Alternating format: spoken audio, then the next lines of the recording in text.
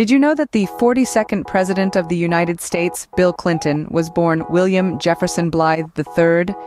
His father died before he was born, and it wasn't until his mother remarried that he took the surname of his stepfather, Roger Clinton.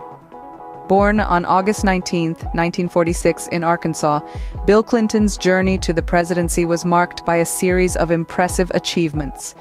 After graduating from Georgetown University in 1968, Clinton went on to Yale Law School. It was here that he met Hillary Rodham, a fellow law student who would later become his wife and a political force in her own right. Following his graduation from law school, Clinton returned to Arkansas and began his political career as the state attorney general. He then served two non-consecutive tenures as governor of Arkansas. During this time, he established his reputation as a new Democrat with a centrist third-way political philosophy. As governor, he implemented significant changes to the state's education system and served as chairman of the National Governors Association. In the 1992 election, Clinton defeated incumbent Republican President George H.W. Bush and independent businessman Ross Perot, making history as the first baby boomer president. His presidency ushered in the longest period of peacetime economic expansion in American history, yet wasn't without its challenges. His attempts to pass a national health care reform plan were unsuccessful, and the Republican Party won unified control of Congress in the 1994 elections.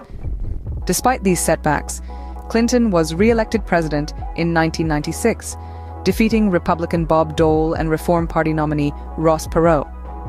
During his second term, Clinton's policies became noticeably more conservative.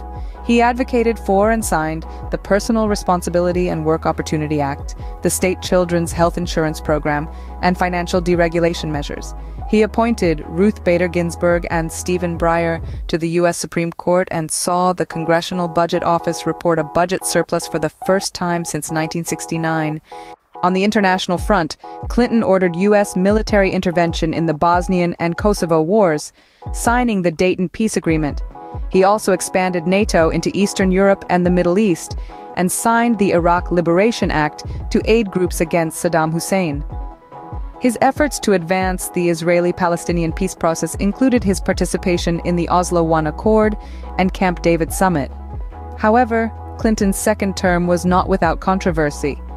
The Clinton-Lewinsky scandal, which began in 1995, dominated headlines and culminated in Clinton's impeachment by the House of Representatives in 1998. The charges centered around perjury and obstruction of justice, but he was acquitted on both charges in a Senate trial in 1999. Despite the scandal, Clinton left office in 2001 with one of the highest approval ratings of any U.S. president. Today, his presidency is regarded as one of the middle to upper tier in historical rankings of U.S. presidents. In this video, we've journeyed through the life and political career of Bill Clinton, from his birth in Arkansas to his tenure as the 42nd President of the United States.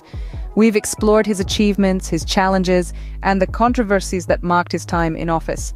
From his beginnings as a New Democrat to his legacy as a president who presided over an era of economic expansion and international intervention, Clinton's impact on American politics is undeniable.